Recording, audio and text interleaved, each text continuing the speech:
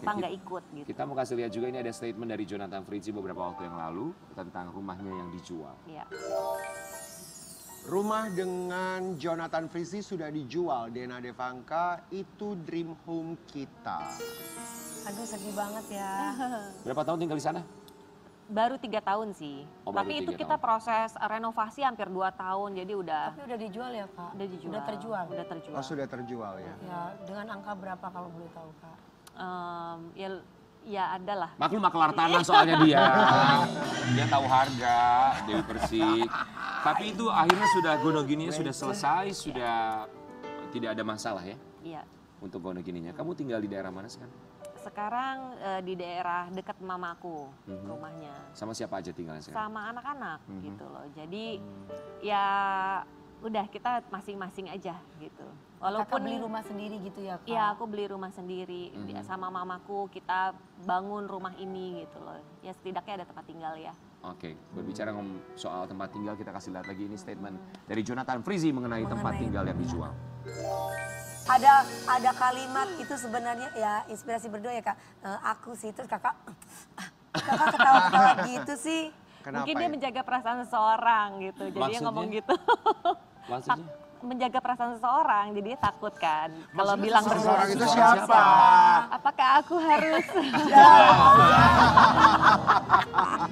Siapa seseorang itu siapa ya? Dirimu atau dirinya? Dirinya, Dirinya. dirimu.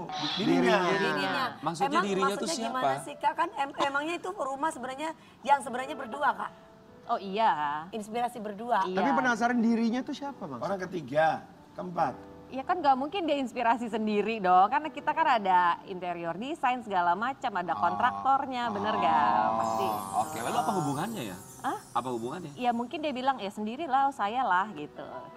Untuk menjaga perasaan, udah udah jangan dibahas. Oh, ada perasaan yang harus dijaga. Jaga.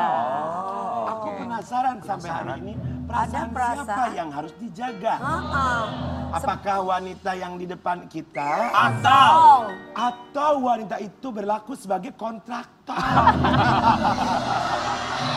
Jadi kan dia kontrak kontraktor kita nggak pernah tahu ya. iya benar. Tapi akhirnya ketika gondok ini aku nggak paham sih ya. Soalnya aku juga belum pernah bercerai. Gimana mau bercerai nikah saja aku belum loh. Kode. Aku kan cuma ya Mbak Dena. Iya gue udah bilang kalau la- jadi laki-laki itu jangan terlalu membenci gue nanti cinta sama gue lo. Ah, lu juga begitu sama gue, Wi. Tapi kalau misalnya bercerai, gondok gini itu nanti pada akhirnya, misalnya rumah nih ya, itu tuh pembagiannya setengah buat kamu, setengah buat Ijong, atau ada bagian untuk anak-anak juga nggak sih?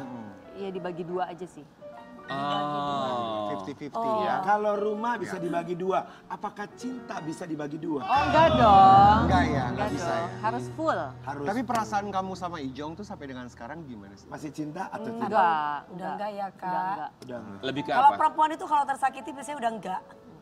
Ah, kita nggak nanya kamu sama Angga kok, kita nanya sama dia. Emang lakiku enggak aja. wih, wih, wih, wih. Ya maksudnya aku kan, teman lagi kan maksudnya. Wih, ini lagi live loh, Wi. Dewi suka keceplosan. Eh, buat Dera Devanka, tapi kamu sendiri kan pasti punya momen begitu banyak sekali dengan rumah tersebut. Walau hanya tiga tahun, tapi bagaimanapun itu tempat kamu, Iya. mantan suami, bapaknya anak-anak dan juga anak-anak pernah tinggal. Terus kalau anak-anak masih suka, kalau nanyain tadi kan kita sempat nanya kenapa kita harus keluar, kenapa papanya nggak Iya, ikut nanya sama kita. itu, Kak? Mereka kadang suka masih kangen sama rumah lamanya nggak sih?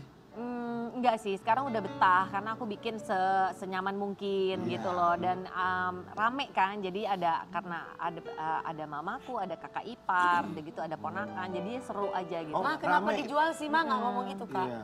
Ma, kenapa kok dijual sih, Ma, rumahnya? Karena kalau nggak dijual nanti um, terus tinggal bersama tuh gimana? Kan Iya. bingung ya. Dan cara menjelaskan ke anaknya gimana? Emang kakak Iya. ngomong gitu? Ngomong, Apa? ngomong ke anak-anak seperti itu. Seperti itu? Enggak sih. Gimana, Kak? Coba aku anaknya nih. Ma, kenapa dijual rumahnya, Ma? Iya harus dijual sayang. Jadi kita tuh tinggal di rumah ini yang baru gitu loh. Kenapa papa nggak ikut? Ya karena mungkin udah nggak mau gitu. Gampangnya aja kak. Kasihan ya Tadi anak-anak ya. Mama Dena bilang rumahnya rame banget. Itu rumah apa pasar malam? Ya, iya makanya. Karena kan berdekatan ya. Oh iya. Jadinya ngumpul gitu. Iya.